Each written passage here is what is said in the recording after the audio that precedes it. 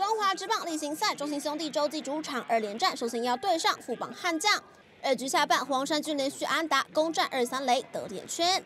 面对一人数据得点圈有人的危机，悍将先发投手肯特自己乱了阵脚。面对于东华的打戏，发生了大爆头，免费送给对手一分，兄弟一比零先取得点。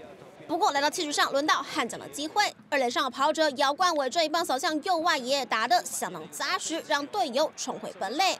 富邦一比一扳平之后，还不打算善罢甘休。下一棒的新元旭在扫出中间方向的安达，带回悍将的超前分，二比一逆转战局。但是赛前已经陷入三连败的卫冕军，展现想要赢球的决心。八局下半，岳东华选到四坏球保送上垒之后，靠着队友的牺牲打来到二垒的得点圈。队长王威成一上来就锁定第一球出手，扫出中外野方向安打，将垒上队友送回家得分，比数二比二，再次回到原点。却没想到悍将是铁了心，不想让兄弟有机可乘。九局上半，高国林作为这个半局的第一位打者，就敲出左外野方向的 solo home run，个人本季首轰出炉，也帮助悍将再将领先要了回来。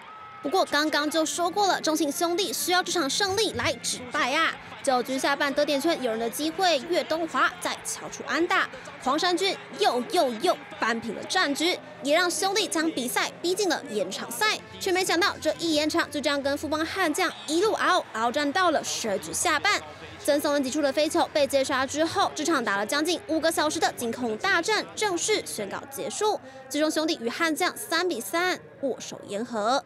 RTV 台综合报道。